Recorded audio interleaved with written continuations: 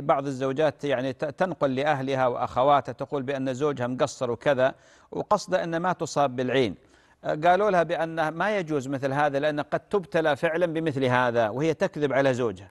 محمد بارك الله فيك هذا كذب وغش وتشويه لصورة الزوج وهضم لحقه هذا حرام. ولذلك لا يجوز للمرأة أن تكذب على زوجها بل إن العكس هو الذي يجوز. إذا كان مثلا أهلها يسألون يسألونها يقولوا لها آه، كيف حالك؟ عسى ما مقصر معاكي وهو مقصر تقول لا الأمور تمام لأن تحمد نعمة الله سبحانه وتعالى.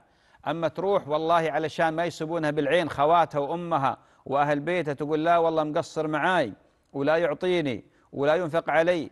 أعوذ بالله. هذه أخلاق المنافقين هذه ما يليق بإنسانة تؤمن بالله واليوم الآخر.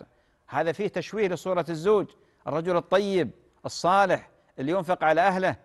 كيف الآن بربك؟ كيف أهل الزوجة الآن؟ كيف صورة الزوج عندهم؟ صورة جميلة ولا سيئة؟ ينظرون على أنه شيطنته هذه المرأة شيطنته عند أهلها ولذلك هذا حرام وتستغفر الله. وهذا الأمر من كفران النعم. مثل ما قالوا لك الحريم من كفران النعم. ولذلك الله عز وجل ماذا قال؟ قال وإذ تأذن ربكم لئن شكرتم لأزيدنكم ولئن كفرتم إن عذابي لشديد. ومن العذاب الشديد هذا الحرمان في الدنيا.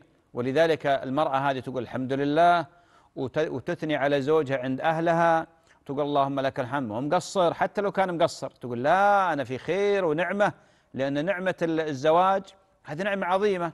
نعمة يعني آه، محافظة الزوج على زوجته عظيمة. الحمد لله الكفاية هذه نعمة من نعم الله عز وجل. فتتق الله ولا تخوض في مثل هذا.